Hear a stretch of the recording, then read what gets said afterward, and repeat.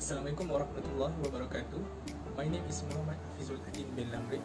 My meeting number is B081810099.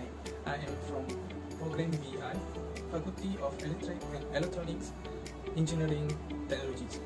So this is my project presentation for PSM 2. Okay, from the poster as a project description. So the project is focusing on developing a portable horizontal axis wind turbine that can charge electronic device for use during outdoor activities. This is a block diagram of the process of this project. So the wind is an initial state and the wind is the source of energy for wind turbine. The wind turbine can create more electricity that faster the wind blow. So the blade will be used in the next stage uh, and then the blades uh, the component that covers the wind by converting it into kinetic energy which are rotate as the wind blow. The rotation of the blade will increase as the wind speed increase.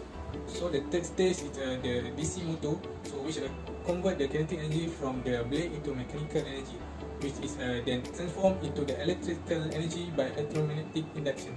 So the next step in the method is to increase the direction current voltage from 0.9 volts to 5 volts. So the voltage regulator connecting circuit to the 9 volt USB battery may charge the battery to store the energy current when the voltage uh, regulator get the minimum voltage 0.9 volts.